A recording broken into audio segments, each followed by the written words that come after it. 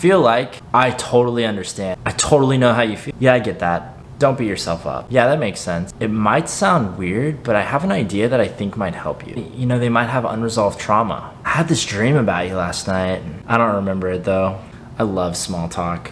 Just kidding. I'm always here for you. I feel the same way too. If you want my honest opinion, what do you need from me right now? I'm pretty sensitive. I'm sorry for projecting the expectations that I have upon myself on you. Left brain or right brained?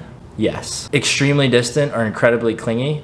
Yes. Isolated or like being around people? Yes. Fiercely passionate or often silent? Yes. Conservative or liberal? Yes. In the present moment or in la la land? Yes. I look like I'm always thinking? The conversation that we're having right now, I've already rehearsed it about a thousand times in my mind already. You know, it's all about perspective. Meditation is a beautiful thing. I feel like I have a divine purpose, just don't know what it is. I'm an optimist. ENFPs, so hot. Wow, there's a lot more people here than I thought. It's really loud in here. I can't really hear what you're saying.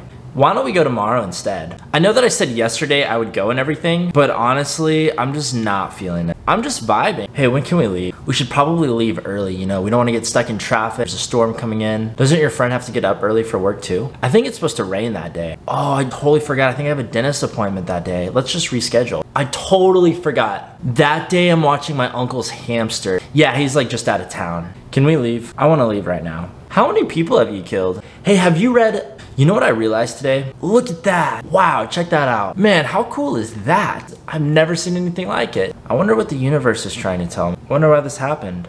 What can I learn from this? Narcissist, empath, intuition, vibes, deeper meaning, between the lines, self-improvement, door slam, emotional boundaries, feeling drained. I think that they think that I'm weak, but I'm really just kind. I love animals. I don't date, I just invest everything I have in a narcissist. JK, actually not really.